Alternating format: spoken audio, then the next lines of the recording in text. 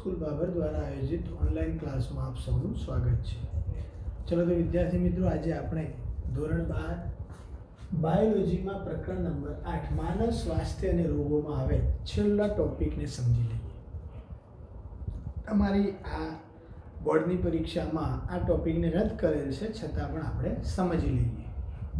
કારણ કે આપણે નવું ચેપ્ટર, નેક્સ્ટ લેક્ચર આપણે જ્યારે શરૂ થશે, ત્યારે આપણે કરશું.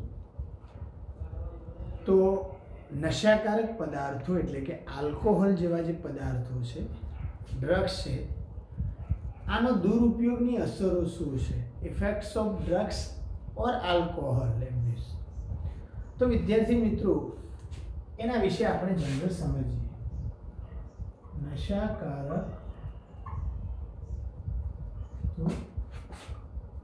કે આલ્કોહોલની દુરુપયોગની આલ્કોહોલના દુરુપયોગની અસરો.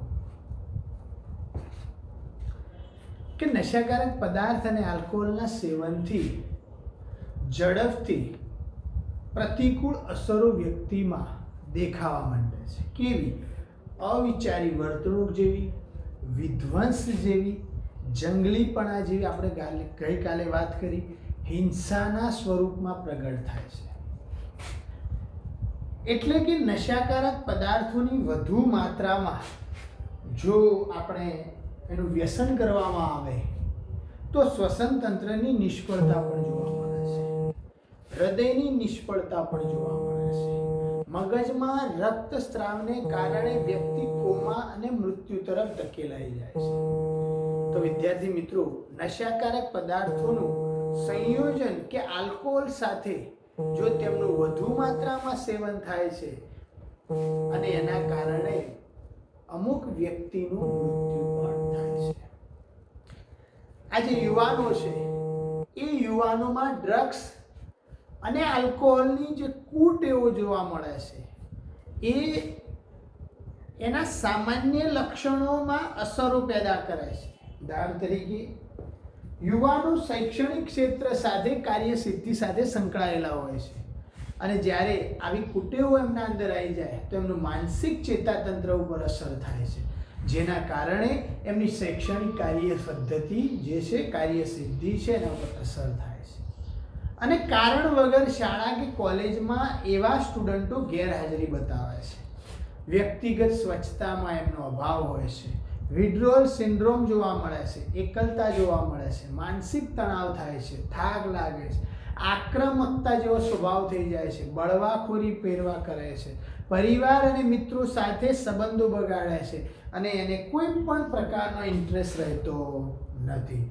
સુવા અને ખાવાની આદતોમાં પણ શું થાય છે? ફેરફાર થાય છે, વજન પણ ઘટે છે અને ભૂખમાં પણ વધઘટ થાય તો વિદ્યાર્થી મિત્રો, આવા નશાકારક પદાર્થો અને આલ્કોહોલના સેવનથી જે અસરો જોવા મળે છે, એ અસરો આપણે ગઈકાલે સમજાતા છતાં પણ આપણે સમજી લઈએ કે એની જે દૂરગામી અસરો કઈ છે, તો દૂરગામી અસરોમાં એ પોતે એના ફેમિલી સુધી અસર થાય છે. એના સુધી સીમિત રહેતી નથી, એ બંધાણી બને છે એના મિત્ર સાથે પણ સંબંધો બગડે છે, પરિવાર સાથે પણ બગડે છે. પછી આપણે જોયું કે આલ્કોહોલના એનાથી દુરુપયોગની બીજી અસરોમાં હિપેટાઇટિસ બી અને એડ્સ જેવા રોગો જે છે, એ વધારે પ્રમાણમાં ફેલાય છે. પછી આપણે જોયું કે યકૃતમાં સિરોસિસ પ્રકારની બીમારી થાય છે અને સ્ત્રીઓમાં અમુક માસિક ચક્રની અસરો, માનસિક તણાવ, મિજાજમાં ઉતાર ચઢાવ, આ દરેક બાબતો વિશે આપણે ચર્ચા કરી. તો વિદ્યાર્થી મિત્રો, હવે આ જે નશાકારક પદાર્થો જે છે, એના ઉપયોગથી જ્યારે આવી અસરો થાય છે, તો એને અટકાવવાના ઉપાયો અને નિયંત્રણ કયા છે, એના વિશે આપણે આજના લેક્ચરમાં ડિટેલમાં સમજવાનું છે શું કહે છે? અટકાવવાના ઉપાયો અને નિયંત્રણ.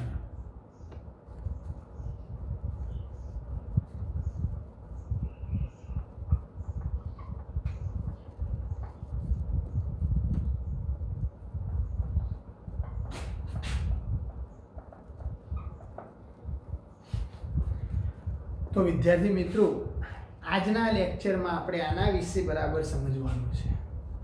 કે ઈલાજ કરતાં અટકાવ વધુ સારો છે આવી કહેવત છે. Prevention is better than cure મતલબ ટ્રીટમેન્ટ કરતાં અટકાયતના પગલાં વધારે ઉત્તમ છે. આ કહેવત અહીં સાચી ઠરે છે. આ પણ એટલું જ સત્ય છે કે ધૂમ્રપાન, ડ્રગ્સ તેમજ આલ્કોહોલના સેવનની જે આદત પડવાની સંભાવના નાની વયે મોટા ભાગે તરુણાવસ્થા દરમિયાન વધુ થાય છે. એનો મતલબ કે જેટલી આ કહેવત સાચી છે, એટલું આ પણ સત્ય છે કે આ દરેક નશાકારક વસ્તુઓનું સેવન કરવાની આદતો યુવાની પહેલા, એનો મતલબ કે તરુણાવસ્થા દરમિયાન શરૂ થાય છે. તમારી ઉંમરમાં શરૂ થાય છે. માટે આવી પરિસ્થિતિઓને પારખવા સૌથી શ્રેષ્ઠ એ છે કે જે તરુણોને આલ્કોહોલ કે પછી ડ્રગ્સના સેવન તરફ ધકેલે છે જેથી સમયસર તેના ઉપાય વિશે આપણે વિચારવાનું છે. તરુણોને જ સંભાળવાના છે એવું વિચારી અને આપણે ઉપાય કરવો પડે. આના સંદર્ભે સૌથી મહત્વના ભાગ કોણ ભજવી શકે છે સમજાવવામાં? તો એક શિક્ષક અને માતા પિતા અને શિક્ષક અને માતા પિતાની આ એક વિશિષ્ટ જવાબદારી બને છે કે એ કારણ એ બાળકોને સમજાવે છે, ત્યારે એ પોતે પોતાનું નોલેજ દ્વારા એમને અટકાવત કરી શકે અને માતા પિતા પોતાના બાળકને વધુ સમજે છે અને પ્યારથી સમજાય છે તો વિદ્યાર્થી મિત્રો, બાળકનો એવો ઉછેર કે જેમાં પાલન પોષણ ઉચ્ચ સ્તરીય હોય અને સુસંગત અનુશાસન હોય, ત્યાં આવા કૃપ્રયોગ, એનો મતલબ કે આલ્કોહોલ કે ડ્રગ્સનો ભય કેવો થઈ જાય છે? ઓછો. જેના માતા પિતા સંસ્કારી હોય, જેના માતા પિતા સમજદાર હોય, તો એના બાળકો પણ કેવા હોય છે? સારા હોય છે. તો કેટલાક ઉપાય તરુણોમાં આલ્કોહોલ અને ડ્રગ્સના ઉપાયને અટકાવવા નિયંત્રણ માટે ઉપયોગી બને છે. એમાંનો પહેલો ઉપાય છે, સમવયસ્કોના બિનજરૂરી દબાણથી દૂર રહેવું. બીજો શિક્ષણ અને પરામર્શ, એટલે કે કાઉન્સેલિંગ ત્રીજો માતા પિતા તેમજ સમવયસ્કોની મદદ લેવી. ચોથો, ભયજનક સંકેત તરફની દ્રષ્ટિ. અને પાંચમો, વ્યવસાયિક અને આરોગ્ય વિષયક સહાય લેવી. આ ઉપાયો છે. તો આ ઉપયોગી જે ઉપાયો છે એને આપણે સમજીએ.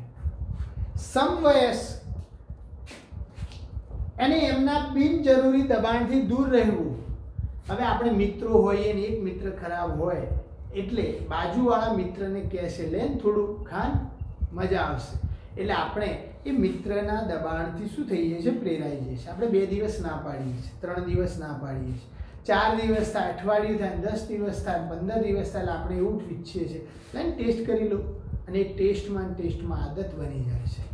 તો છોકરા કે છોકરીની પોતાની પસંદ અને વ્યક્તિગત હોય છે, તેનો આદર કરવો જોઈએ અને તેને પ્રોત્સાહિત કરવું જોઈએ. કારણ કે એને સમજાવવાનું છે, તારી મરજીની વાત છે. ના લેવું તો પછી ના જ લેવું. બાળકને તેની ઈચ્છા વિરુદ્ધ અઘટિત ફલન કરવા કોઈ સીમા બાંધવી જોઈએ નહીં. પછી ભલે તે ભણવા માટે હોય, ખેલકૂદ માટે હોય, સારું રિઝલ્ટ લાવવા હોય કે કોઈ અન્ય પ્રવૃત્તિમાં હોય, એ આપણે ધ્યાન રાખવું એવી જ રીતે શિક્ષણ અને પરામર્શ, એનો મતલબ કાઉન્સિલિંગ સમસ્યા અને તણાવ જે છે એનો સામનો કરવો. નિરાશા કે અસફળતા મળવી એ જીવનનો જ એક ભાગ છે એવું આપણે બાળકોને સમજાવવું જોઈએ. કે ભાઈ નિષ્ફળતા મળી છે, અસફળતા થઈ છે, તો પછી આપણે કંઈક ગલત પગલું ભરીએ, આવું ભરવું જોઈએ નહીં. કારણ કે જિંદગીમાં અંદર સારા પણ સમય આવે, જિંદગીમાં ખરાબ પણ સમય આવે, દુઃખ પણ આવે, સુખ પણ આ ચડ ઉતાર આવતો જાય ને ત્યારે જિંદગી પસાર થાય છે. કારણ કે બધાને જો આખી જિંદગી ખુશી મળે, તો એ કોઈને યાદ ના કરે ને જો દુઃખ મળે, તો એ કોઈને પસંદ ના કરે. તો વિદ્યાર્થી મિત્રો, જરૂરી છે કે જિંદગીમાં ઊંચ નીચના આ માર્ગ રસ્તા પરથી આપણે પસાર થવાનું હોય છે. એટલે કે આ એક આપણો ભાગ છે જીવનનો. આવું કાઉન્સેલિંગ એને કરવું જોઈએ. એ પણ એટલું જ યોગ્ય છે કારણ કે બાળકની શક્તિને રમત ગમત તરફ પણ પ્રેરવું જોઈએ. વાંચન તરફ, સંગીત તરફ, યોગ તરફ, અન્ય ઇતર પ્રવૃત્તિ છે દિશામાં આપણે વાળવાનો એને પ્રયાસ કરવો જોઈએ. ત્રીજો ઉપાય માતા પિતા તેમજ સમવયસ્કોની મદદ લેવી. માતા પિતા તેમજ સમવયસ્કો જે છે, એની પાસેથી તરત મદદ લેવી જોઈએ. એટલે કે, જેથી તેઓ યોગ્ય માર્ગદર્શન આપી શકે. ગાઢ અને વિશ્વાસુ મિત્રોની સલાહ લેવી જોઈએ. સારા મિત્રોની સલાહ લેવી જોઈએ. યુવાનોની સમસ્યાનો ઉકેલ લાવવા માટે તેમને યોગ્ય સલાહ આપવાથી પોતાના ચિંતા અને અપરાધ ભાવનાની જે અભિવ્યક્તિ કરવામાં આવે છે, એને શું મળે છે? મદદ મળે છે. તો વિદ્યાર્થી મિત્રો, ચોથો ઉપાય છે, ભયજનક સંકેતો તરફ દ્રષ્ટિ. એનો મતલબ કે માતા પિતા શિક્ષક અને વડીલ એ જોઈ શકે છે કે આ આદતથી ભવિષ્યમાં શું થઈ શકે છે? એવા સંકેતો ઓળખાવાના છે. એટલે કે સજાગ માતા પિતા અને શિક્ષકોએ ભયજનક સંકેતોને ઓળખવાના. તેની ચર્ચા કરવી જોઈએ, બાળકને સમજાવવું જોઈએ. કોઈ વ્યક્તિ ડ્રગ્સ કે આલ્કોહોલનું સેવન કરતો માલુમ પડે, તો તરત જ ખચકાટ વગર એના માતા પિતા અને શિક્ષકના ધ્યાન પર આ બાબત લાવવી જોઈએ. ત્યારબાદ બીમારીને ઓળખવા તથા તેની પાછળ છુપાયેલા કારણો શોધવા માટે યોગ્ય ઉપાય કરવા જોઈએ. જેથી યોગ્ય સારવારની જો આરંભ કરવામાં આવશે, તો આ આલ્કોહોલ્સ અને ડ્રગ્સના સેવનથી કંટ્રોલ આવશે અને સહાયતા મળશે. વિદ્યાર્થી મિત્રો, આ ચેપ્ટરનો છેલ્લો ટોપિક અને આ ટોપિકનો છેલ્લો મુદ્દો વ્યવસાયિક અને આરોગ્ય વિષયક સહાય જેથી વ્યક્તિ દુર્ભાગ્યપણે પણ ડ્રગ્સ કે આલ્કોહોલના દુરુપયોગથી સેવનમાં ફસાઈ ગઈ છે, એની મદદ માટે ઉચ્ચ લાયકાત ધરાવતા મનોવૈજ્ઞાનિક હેલ્થ સેન્ટર એટલે કે સાયકોલોજીકલ રિહેબિલિટેશન સેન્ટર જેવા મનોચિકિત્સકની ઉપલબ્ધતા આપણને વ્યસન છોડાવવા માટે આપણા દેશમાં ઉપલબ્ધ છે, તેમજ તેના પુનરુત્થાન કાર્યક્રમો દ્વારા યોગ્ય સહાયતા મળે છે. અને આ પ્રકારની મદદ મળવાથી જે પણ અસરગ્રસ્ત વ્યક્તિ છે, તેના પૂરતા પ્રયત્નો અને દ્રઢ મનોબળથી તેનું તંદુરસ્તી જીવન પાછું આવી શકે છે. તો વિદ્યાર્થી મિત્રો, તમે સમજી શકો છો કે આ જે ઉપાયો છે એનાથી આપણે શું કરી શકીએ છીએ? આલ્કોહોલની અસરોને અટકાવી શકીએ છીએ અને આપણું ભવિષ્ય સારું લઈ જઈ શકીએ છીએ. તમે જોઈએ તો આપણા દેશમાં જુદા જુદા શહેરોમાં, મોટી સિસ્ટીઓમાં ગામડા લેવલ કરતાં વધારે અત્યારે શહેરીકરણના અંદર આપણા જીવન જરૂરી આદતો શોખ પૂરા કરવા માટે ફેશન કરવા માટે આવા આલ્કોહોલિક અથવા તો અન્ય ડ્રગ્સ કે પછી નશાકારક પદાર્થોના સેવનમાં બાળકો પ્રેરાય છે.